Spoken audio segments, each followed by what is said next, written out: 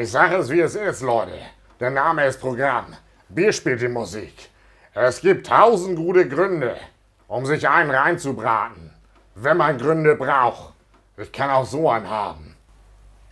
Dosen drücken, knusprig machen, angenehm die Leber beizen, einen in den Rachen packen, noch mal kurz die Kehle schleifen. Kurz eine Mütze Schlaf, danach Abfahrt, zweite Runde. Jeder Kiosk an der Ecke sagt, Volki, bester Kunde. Saufen bis die Dichtung platzt, auf intensiver Taktung. Sind die Flaschen leer, gehe ich akkurat auf Zapfung.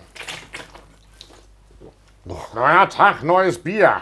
Der zweite Bildungsweg. Für eine achtarmige Trinkung ist es nie zu spät. Wenn das Amt den Hahn zudreht, fließt der Zapfhahn weiter. Ich gehe einfach auf Deckel und mach mich heiter breiter. Die Karriereleiter steht im Keller und verstaubt. Doch auf das Getränkebusiness wird sich einer reingeschraubt. Die Leber marinieren, den Deckel nochmal schmieren. Es gibt so viel schöne Worte, um sich einfach zu bebieren. Prost, Leute. Macht euch einen Klassentag. Das war der Rest Alkohol. Reste Alkohol gibt es bei mir sonst nicht. So, Harald, durch für heute.